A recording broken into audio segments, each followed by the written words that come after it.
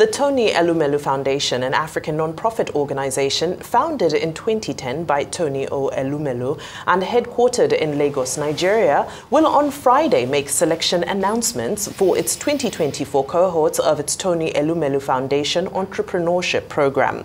Joining us now on the show is Somachi Chris Asoluka, CEO of Tony Elumelu Foundation. Good morning, welcome to the program. Good morning, thank you so much for having me. It is great to have you on the program. Now, uh, in the broader context of Africa's socioeconomic landscape, why does the Tony, El Tony Elumelu Foundation firmly believe that entrepreneurship holds the key to unlocking the continent's vast potential and driving sustainable development? I think that our mission in empowering young African entrepreneurs from all 54 African countries is rooted in our belief in Africapitalism Africapitalism is economic philosophy founded by Mr. Tony Elumelu, which states that the private sector, especially young entrepreneurs, must play the leading role in the socioeconomic transformation of the African continent. And this draws from Mr. Tony Elumelu's own experience as a young entrepreneur, amassing the wealth that he has today, and realizing that to develop the continent from the ground up, from the grassroots up, we must empower our young African entrepreneurs give them the training, the funding, the mentorship, the coaching, so that in turn they can start businesses, scale these businesses, employ people, help to alleviate poverty on our continent, and ensure inclusive economic empowerment. So this is why the foundation is focused on young entrepreneurs. We've been doing this since 2010 and will continue to do this because entrepreneurs are the lifeblood of the African continent.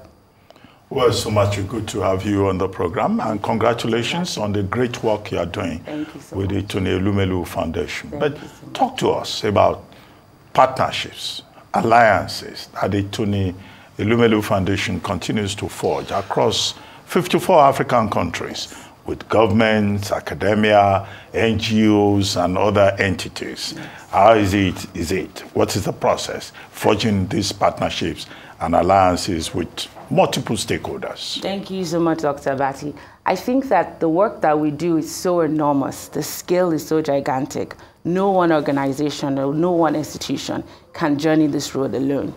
And so that's why our list of global partners from across the world have identified the work that we do at the Tony Elumelu Foundation as the most transformative model to transform and change the African continent for the better.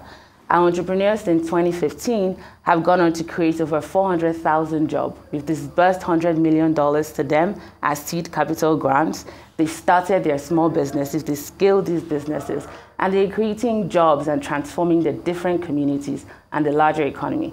So our global partners have seen the work that we do and realized that to change the African continent, they need to local with, they need to partner with a local partner that has the expertise, the networks, the reach, and the know-how to transform the continent in this manner. So our list of partnerships include the European Union, include the German Development Agency, include UNDP, the United Nations Development Program, even the US government through the USADF. So our partners have identified us as the most transformative partner on ground, and so we continue to partner with them to reach and scale our program to empower additional young entrepreneurs across all 54 African countries. Mm. And, and the impact, I must have to say, has been ginormous to say the least. I mean, if, if I can use that word. And it's International, you know, Women's Month, and there's a need to advance, you know, the cause of women, foster, you know, gender equity and inclusion and all of that. And I see that Tony Elumelu Entrepreneurship Program intends to support and prioritize women entrepreneurs in its next phase. I mean, I've, I've seen a lot of them go through the system and they have done extremely very well. Yeah. So, I mean, how, how are you furthering this in, in this month? No, I think that for us, Women's Month is every month. Mm. We continue to empower women entrepreneurs because, as our co founder, Dr. Elumelu, would often say, when you empower a woman, you empower entire communities. And so we realize the sensitivity of looking for young women entrepreneurs and giving them the funding, the training, the mentorship they need to start businesses and take those businesses to the next level. Since 2015, our 20,000 entrepreneurs that we've empowered so far, about half of them are women entrepreneurs. Mm. And these women entrepreneurs have gone on to create multiplier effects in their different communities across all of Africa. So we're very proud of our women entrepreneurs, proud of our women mentors, proud of our women leaders across the HH and UBA groups. As you know, 50% of the board at UBA is female. And 40% of our CEOs at Heirs Holdings are female. Yeah. So you see, the, for us, Women's Month is not just in March. Leading the way. literally, exactly, the role model company, exactly. Yeah. Music to my ears. Absolutely love to hear that. No, y- y- a major part of this, of course, is legacy. That's what's being built here, now, right? So, reflecting on the past decade of the Tony Elumelu Foundation entrepreneurship program's journey, what key insights and learnings have been gleaned from its impact on African entrepreneurship and economic development? And moreover, how do these learnings inform the program's strategic evolution and shape its approach to fostering sustainable entrepreneurial ecosystems, unlocking latent potential, and of course, catalyzing inclusive growth in the years ahead? No, that's such a profound question. Because the first thing we're seeing is that the scale of interest in entrepreneurship on the continent is enormous. Every year we roll out our applications on January 1 till March 31st for entrepreneurs to go on our platform and apply.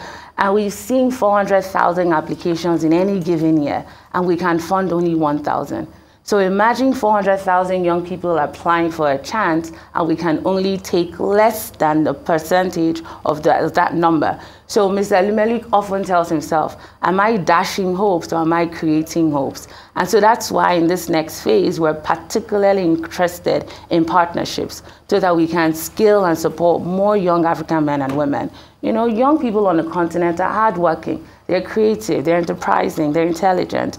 All they need is that little support in terms of funding, training, and mentorship. And the things that they can achieve are unbelievable. Our entrepreneurs continue to lead the way in their different countries. And I'll give a small instance.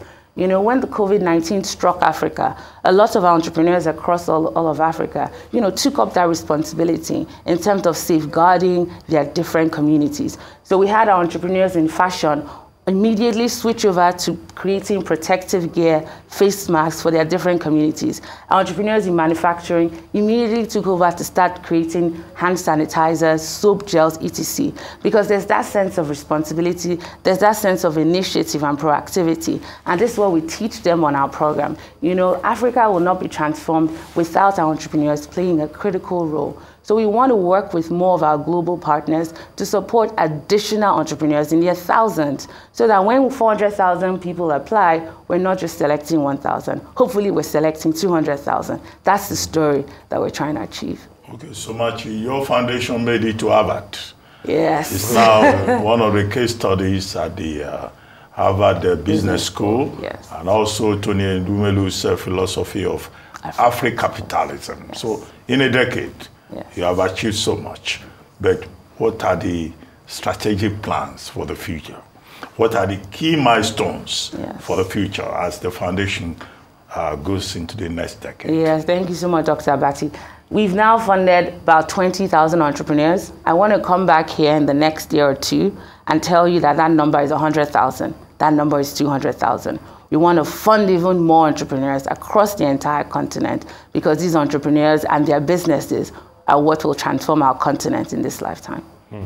Well, congratulations and thank you very much, Thank so much. Chris Asoluka, for joining us on the morning show.